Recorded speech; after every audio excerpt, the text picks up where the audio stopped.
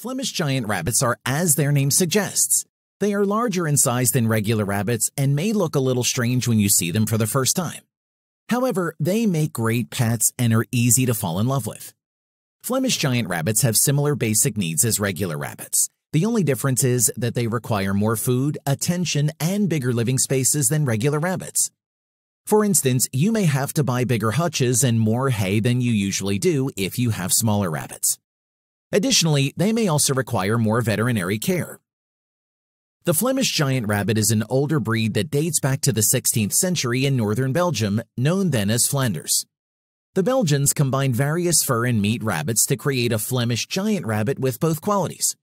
Their first record as a breed was in 1860 and their breeding standards were recorded in 1883.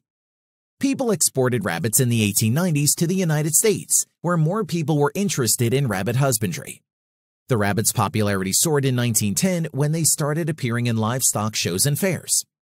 Flemish giant rabbits are quite large and some breed members can grow as big as a medium-sized dog like the Shetland Sheepdog.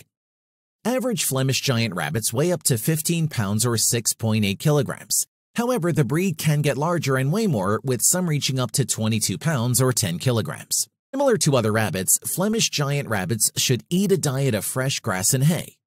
Additionally, you should ensure that the rabbit has plenty of fresh water for proper hydration and to keep them away from excessive heat.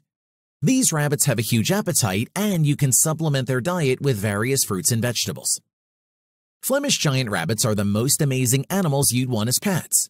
The rabbits are gentle, adorable, and friendly. However, you should take time to understand how to care for and handle them.